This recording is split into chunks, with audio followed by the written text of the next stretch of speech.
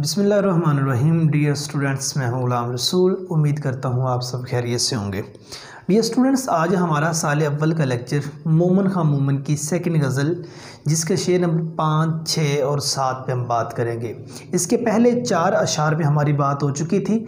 पहले चार अशार पे हमारे दो लेक्चर है। शेर नंबर एक और दो पे एक लेक्चर है, उसके बाद तीन और चार पे दूसरा लेक्चर है। और आज तीसरा लेक्चर जिसमें दूसरी गज़ल जो है, मोमन खां मोमन की, वो ख़त्म हो जाएगी। तो ये स्टूडेंट्स देखिए शेर नंबर पाँच। कहते कि, बे रोए मिसले अबर ना निकला गुबारे दिल कहते थे इनको, बरके तबस्सम, हँसी से हम। कहते, बे रोए मीन्स बगैर रोए, मिसले अबर। अबर की मानंद मीन्स बादल की मानंद, ना निकला गुबार दिल। गुबार दिल दिल का गुबार कहते बगैर रोए बादल की तरह जो दिल का गुबार था, वो ना निकला। कहते कहते थे इनको बरके तबस्सम, हँसी से हम। कहते, हम हँसी मिजाज में आके इसको बरके तबस्सम कहते थे। मीन्स हँसी वाली बिजली कहते थे। नसरी मफहम देखिए, हम मज़ाक में महबूब की मुस्कुराहट को बिजली से तशबी दिया करते थे। ठीक है ना? ये मज़ाक संजीदगी की शक्ल इख्तियार कर गया। हम महबूब के हिजर में बादल की तरह रोए बगैर रोए बगैर हमारे, रोए बगैर हमारे दिल का बोझ हल्का नहीं होता। मीन्स एक महबूब की जौन सी मुस्कुराहट है, महबूब की मुस्कुराहट को वो बरके तबस्सम कहते थे। मीन्स हँसी की बिजली कहते थे। डियर स्टूडेंट्स देखा जाए जब बिजली की बात आ जाती है तो जहाँ बिजली की चमक होती है और ये बात वहाँ शोर है कि बारिश ज़रूर बरसना होती है।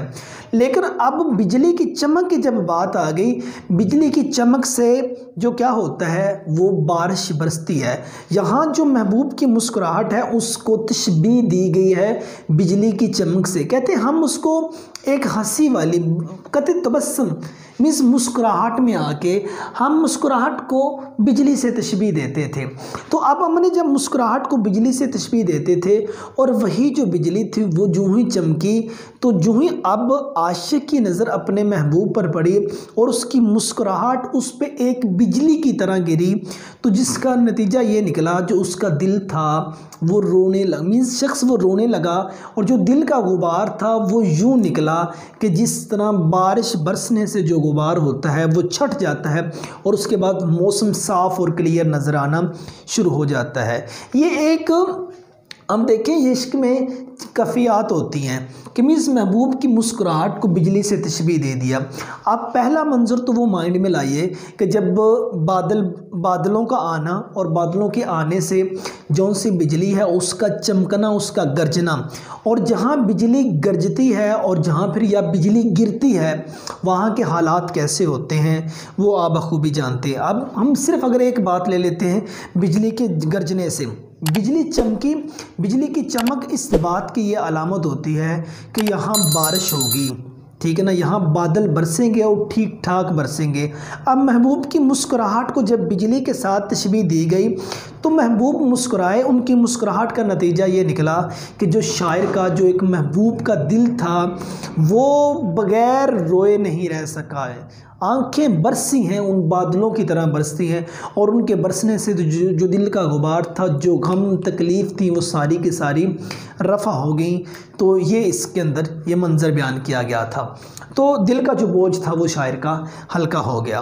तो चंद हवाला जाती अशार देखिए, वो हँसते हैं तो कहता हूँ यार अब ये बिजली देखिए, गिरती कहाँ है? सेकंड शेर देखिए, भूले से वो मुस्कुरा तो दिए थे, आज फैज़, मत पूछिए, वलवले दिल न करदा कार के। तो लास्ट शेर इसका हवाला जाती उसके हंसने की काफ़ियत तोबा जैसे बिजली चमक चमक जाए। तो ये स्टूडेंट्स पाँचवें शेर के बाद बात करते हैं छठे शेर की। क्या गुल खिलेगा? देखिए, है फ़सल गुल तो दूर, और दश्त भागते हैं कुछ अभी से हम। कहते, क्या गुल खिलेगा? मीन्स क्या कारनामा होगा? देखिए, कहते, क्या कारनामा होगा? अभी इसको देखिए, है फ़सल गुल तो दूर। मीन्स वो फूलों को खिलने का मौसम तो दूर है। कहते, क्या फूल खिलेगा? मीन्स क्या कारनामा होगा? इसको देखते हैं। अभी तो वो फूलों का जो मौसम है, वो बहुत दूर है और भागते हैं। और दस्त भाग, और दस्त भागते हैं कुछ अभी से हम। मीन्स अभी से हम दस्त की जानब सहरा की तरफ़ हम अभी से भागना शुरू कर रहे हैं। मीन्स फूलों के आने पे क्या हम पे बीतीगी? अभी तो फूलों के आने का, फूलों के खिलने का मौसम बहुत दूर है। लेकिन हमारी कफ़ियत ये हो गई है, हम उन फूलों के खिलने से पहले ही दस्त की जानब, सहरा की जानब, वीराने की जानब, बियाबा की जानब भागते हैं। तो आप इसका नसरी मफहम देखिए। हमने अभी से सहरा की तरफ़ भागना शुरू कर दिया है। जब बाहर का मौसम आएगा, फूल खिलेंगे तो उस वक्त हमारा जुनून ना जाने क्या गुल खिलाएगा। डियर स्टूडेंट्स एक बात देखी जाए। अब शायरी की दुनिया में, मजाज की दुनिया में देखें, फूलों का खिलना, बाहर का आना एक अशाक पर, एक आशिक पर, एक मोहब्बत करने वाले पर बड़ा गिरा गुजरता है। अब गिरा उस कफ़ियत में गुजरता है कि जब उनको वसल के लम्हात मैसर नहीं होते। मीन्स महबूब की जो रकाबत है, महबूब का जो मिलना जब उनको मैसर नहीं होता तो वो बाहर का मौसम, वो फूलों का खिलना, उस पर बहुत गिरा गुजरता है, बहुत भारी गुजरता है। कहते अभी फूल खिले नहीं। फूलों के खिलने का मौसम तो अभी दूर है, लेकिन आशिक पर वो फूलों के खिलने के मौसम की पहले से कफ़ियत तारी हो गई है। वो पहले से वो मंज़र अपने माइंड में ला के अभी से वो दश्त की जानब भाग रहा है, सहरा की जानब भाग रहा है, बियाबां की जानब भाग रहा है।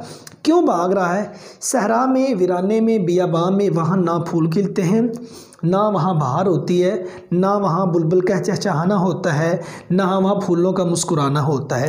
ये चीज़ें वहाँ से परे हैं, वहाँ से कदरे दूर हैं। जब ये चीज़ें वहाँ से कदरे दूर हैं और दश्त वीराने में जब आशिक या शायर या मोहब्बत मोहब्बत करने वाला शख्स पहुँचता है, उस वक़्त उस पर जुनून की एक कफ़ियत, एक ऐसी तारी होती है, उसको अपना आप भी खबर नहीं होता। वो अपना सीना चाक चाक कर लेता है और दीवानगी के आलम में उस सहरा में चक्कर लगाने या सहरा की जो खाक छानना वो शुरू कर देता है। अब इसलिए कि अगर वो उसी जगह पे रहता है, बाहर के मौसम आने से वो फूल खिलेंगे। फूलों के खिलने से उसके वो गुज़रे हुए लम्हात, उसके वो बीते हुए लम्हात अपने महबूब के साथ, वो यादें, वो उसके लिए वबाल जाम बन जाएँगी, वो उसके लिए अजाब बन जाएँगी और उस पर बहुत बुरी बीतेगी। वो कहते हैं कि इसलिए हमने अभी से सहरा की तरफ़ भागना शुरू कर दिया। अभी तो फूलों का मौसम बहुत दूर है, अभी तो फूल नहीं खिले भाई। अभी फूलों का मौसम दूर है, हमने उससे कबल ही उस सहरा की जानब भागना शुरू कर दिया। अभी तो फूल खिलेंगे तो उस वक़्त हमारा जुनून न जाने क्या गुल खिलाएगा। अभी मतलब फूलों के खिलने से पहले हमारा ये हाल है, ठीक है ना? और जब फूल खिलेंगे तो उस वक़्त हमारा जनून हमसे क्या करवाएगा या हमारी कफ़ियत कैसे होगी? तो इसके ये हवाला जाती इशारा आप देखिए। कुछ करो फ़िक्र, मुझ दीवाने की धूम है फिर बाहर आने की। जब बाहर आई तो सहरा की तरफ़ चल निकला। सहने गुल छोड़ गया, दिल मेरा पागल निकला। कैसे कैसे झूम रहे हैं सरो सनोबर देखो तो। मौसम गुल की धूम है क्या क्या बाग में चलकर देखे तो। देखो तो। डियर स्टूडेंट्स अब सातवां शेर ये मकता है। पेपर में बहुत कम आता है, लेकिन आप गज़ल की जान भी कह लें। ये शेर होता है, कहते ले नाम आरज़ू का दिल को निकाल ले मुमन ना हो जो रब्त रखें बिद्दती से हम। कहते ले ले नाम आरज़ू का तो दिल को निकाल ले। कहते ले नाम आरज़ू का। ठीक है ना? अगर तूने मतलब कि फ़जल हक खैर आबादी जो अपना तखलिस आरज़ू करते थे, ठीक है ना? ए मोमन अगर तूने उस आरज़ू का नाम लिया मीज़ मोमन अपने दिल से कह रहा है कि ऐ मेरे दिल? अगर तूने आरज़ू का नाम लिया तो मैं तुझे दिल से निकाल के बाहर फेंक दूँगा। मैं मोमन ना हूँ जो रबत रखूँ। बिद्दती मीन्स दीन में नई बात ऐड करने वाला। ठीक है ना? कहते मोमन ना हो जो रबत रखें बिदती से हम। मीन्स बिदती कह दिया, फजला खैर आबादी को, कि फजला खैर आबादी के साथ डियर स्टूडेंट्स अब ये इसका मफहम एक बार देख लें। ए मोमन बिदत से तल्ल रखना किसी सूरत दुरुस्त नहीं है। अगर तुम्हारा दिल फजल, खैर आबादी का नाम लेता है तो ये बिदती है और इसे जिसम से बाहर निकाल निकाल, निकालना फ़र्ज़ आयन होगा। ये जिसम से बाहर निकालना ज़रूरी होगा। बेटे, जो मोमन है, मोमन का फजल खैर आबादी के साथ ताल्लुक़ एक अच्छा था। मोमन जिनको चाहने वाले थे, जिनके साथ मोमन की मोहब्बत थी, ठीक है ना? अब उनसे सवाल किया था फजल खैर आबादी ने। ठीक ना? फजल हक खैराबादी ने जब उनसे सवाल किया तो अब फजल हक खैराबादी का और जो मोहम्मद जिनके मौत के थे, जिनके मानने वाले थे, उनका दोनों के अकीदों का डिफरेंस था। और जब फजल हक खैराबादी ने सवाल किया तो जिनसे मोमन का ताल्लुक़ था, ठीक है ना, उन्होंने कह दिया, मोहलत मांग ली, आपके सवाल का जवाब मैं कुछ दिनों बाद दूँगा। या कुछ देर बाद दूँगा। जब ये उन्होंने मोहलत मांगी तो नतीजा क्या निकला मोहलत का? तो उस वक्त फजल खैराबादी ने कह दिया कि जिनके आप मौत की दें जिनके आप मानने वाले हैं, उनको तो इसका जवाब नहीं आता। तो उसमें मतलब कि दोनों की जो बहस हो गई, दोनों आपस में एक दूसरे के साथ नाराज़गी, नाराज़ हो गए, नाराज़गी मोल ली। तो उस वक़्त मोहम्मद ने यह कह दिया कि, अपने दिल से कह दिया कि, ले नाम आरज़ू का दिल को निकाल ले। कि ए मेरे दिल, अगर तूने आरज़ू का नाम लिया मीन्स फजल खैराबादी का नाम लिया तो मैं तुझे दिल से निकाल दूँगा। कि मीन्स मैं ऐसे बिदती को अपने दिल में नहीं रखना चाहता। एक तो इसका ये था। अब सेकंड देखें आप, ले नाम आरज़ू का तो दिल को निकाल। अब आरज़ू से मुराद हम क्या, हम अगर आरज़ू से मुराद यहाँ ख्वाहिशात लेते हैं मोमन से मुराद मुसलमान, ठीक है ना? बिद्दती मीन्स दीन में नहीं बात करने वाला। कहते, ले नाम आरज़ू का तो दिल को निकाल ले। अगर इस दिल के अंदर और कोई ख्वाहिशात जन्म लेती हैं तो फिर क्या हो? हम मुसलमान ना हों, ठीक है? जो रबत रखें बिदती से हम।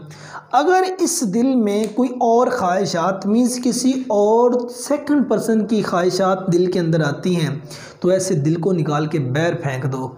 ठीक है ना? मोमन उस एक महबूब हकीकी के अलावा दिल में किसी और को नहीं रखता होता। बिदती मीन्स दीन में नई बात ऐड। अब दीन नई बातों को ऐड करने का नाम नहीं है। दीन में वो महबूब हकीकी एक है। अल्लाह और अल्लाह ताला का रसूल इस दिल के अंदर रहने वाला है। और दिल में ले नाम आरज़ू का तो दिल को निकाल ले। अगर और ख्वाहिशात और कुछ शख्स इसके अंदर इन होने की कोशिश करता है तो ऐसे दिल को निकाल कर बहर मुसलमान को फेंक देना चाहिए। दो पहलू। आप तीसरा पहलू देखें। ले नाम आरज़ू का तो दिल को निकाल लें। अगर इस दिल में किसी और, मेरे एक महबूब के अलावा किसी और की मोहब्बत आ गई तो मोमन ना हो जो रबत रखें बिदती से हम। तो मोमन किसी बिदती से ताल्लक़ नहीं रखना। तो ऐसे दिल को, अगर ये दिल किसी और बिदती से ताल्लक़ रखना चाहता है तो ऐसे दिल को यहाँ से निकाल कर फेंक देना चाहिए। तो ये स्टूडेंट्स आज की ये हमारी गज़ल, मोमन खां मोमन की सेकंड गज़ल पे हम बात कर रहे थे, जिसके लास्ट तीन अशार पे बात की। सेकंड गज़ल ख़त्म हुई तो उम्मीद करता हूँ तो आपको इसकी समझ ठीक आ गई होगी। अगर आपका किसी किस्म का सवाल है तो आप नीचे कमेंट सेक्शन में पूछ सकते हैं। नेक्स्ट वीडियो में मिलेंगे डी स्टूडेंट्स अपना ढेर सारा ख्याल रखिएगा। फ़ी अमान